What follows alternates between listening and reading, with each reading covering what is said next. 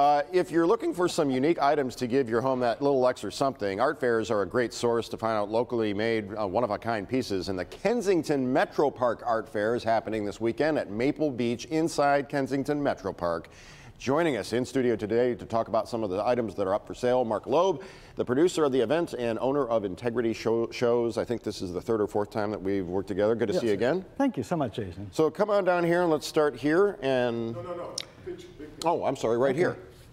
So, started with some of the larger things. This is a piece by Aspasia Fotiu, who's uh, a very young artist. She uses inks and uh, paints and uh, very spontaneous work. Um, This looks like, at the first blush, I, w- I felt like I was on Belle Isle looking at downtown Detroit right here, but I, Mm-hmm. yeah, I think is it open was to inspired by interpretation. that. Yes. Okay, um, So- that would be a, a one example. So, and then this is a more traditional painting here by Annette Poitou. She's uh, from France, but's been living in Michigan for a while, or actually Ohio.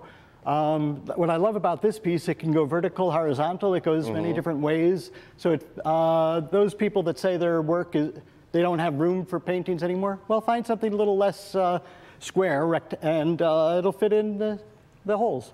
Who's this uh, funny fellow right here? Oh, that's just a little uh, knick-knack type of thing. Some people um, prefer uh, things that sit on the counter. Or uh, this is kind of a cool piece next to it, though. This um, works as a jewelry box, or you can put just about anything you want in there. I don't. I can't recall seeing something like that in an art fair before. Nor can I recall seeing like the Eye of Sauron like wine glass here. Yeah, and unfortunately, it's not filled up. I, I think uh, We do have some wine not- for you. Just I know. I saw over there, but A um, couple, three minutes, and we'll hook you up. Uh, this one's an interesting piece. Dwayne Scherer does nothing but clocks. His whole booth is clocks. And it's amazing what, uh, what he's able to come up with. Cats. Who knew? Mm-hmm. All right. Uh, behind that, or to the Okay, side so of that? this piece here is actually a wood piece. It's made by a wood turner. And as you uh, look through it, it works as a kaleidoscope. Really? Yeah, so you make your own art, the art that only you will see. Kaleidoscopes always remind me of the beginning of Family Affair with Sure. Buffy and Jody and Mr. French. Yeah, so here I showed how sometimes you can buy two pieces and put them together. So this wonderful print by um, Amy Ferguson goes with this great uh, piece here uh, to give you a undersea feel.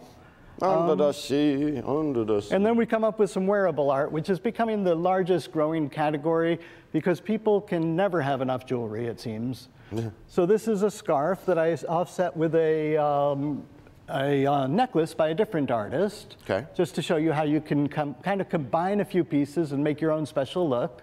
Okay, and then over And here. this one here is kind of fun. It looks like a standard hat until you look around to the edge and you see the way that she's adorned it.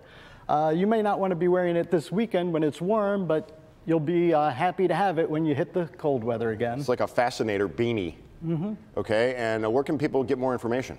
Uh, we've got a website, kensingtonartfair.com, KensingtonArtFair.com. and we're open all weekend and Monday, uh, 10 to 6, and Saturday, Sunday, 10 to 4 Monday. Good to see you. Thank you.